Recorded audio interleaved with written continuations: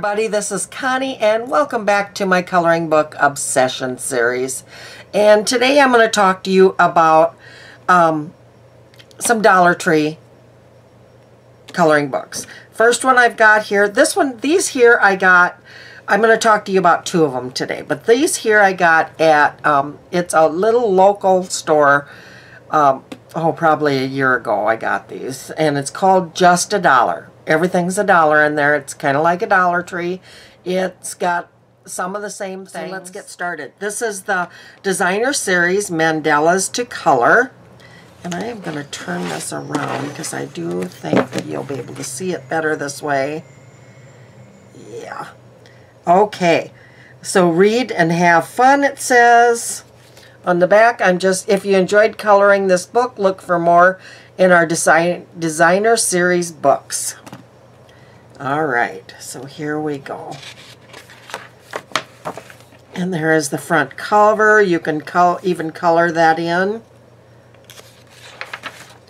And these are two-sided. These are um, dollar or the really, really cheap ones. So you have to, I would lay, these are perforated though, which is nice. But if you're going to color like this, I would put a piece of paper in between. Very pretty. Wow, this one here looks like fun. This is a, a lot more detailed. I like that one. I like these better than I do the really dark lines on these. like this one here I'm not as crazy about as I am this one. This one looks like it's going to be fun.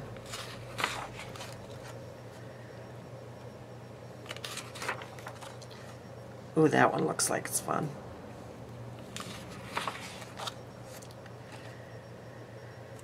See, I just think these would be so much prettier if they weren't so bam in your face black.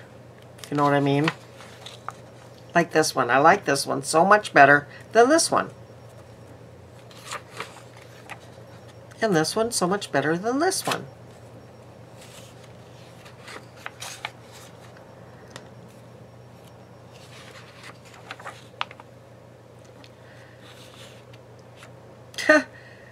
this one reminds me of little bunny ears. Little bunny eyes there. Or even a little bunny tail.